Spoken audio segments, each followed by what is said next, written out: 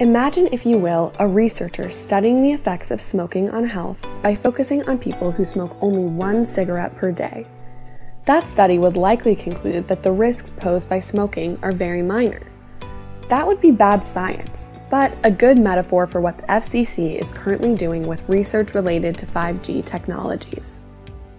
The FCC just announced it will reaffirm the radio frequency radiation exposure limits that were adopted in the 1990s based on research from the 1980s.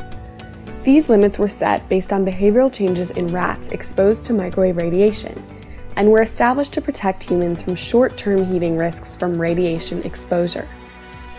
Consider the difference between short term, limited exposures to microwave radiation and constant, long term, and inescapable exposures to the same.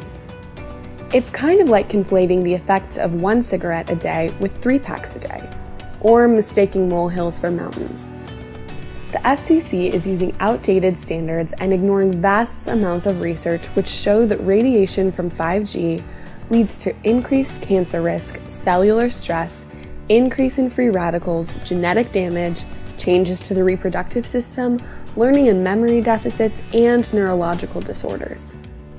Ignoring this information is very similar to what many researchers and government officials did in the 1950s with evidence about the dangers of smoking.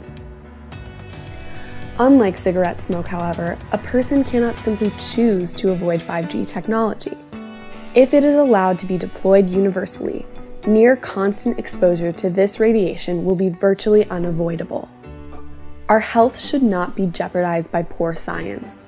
Join ANH and take a stand for science and against the forced inhalation of the dangerous nonsense that the FCC is spewing.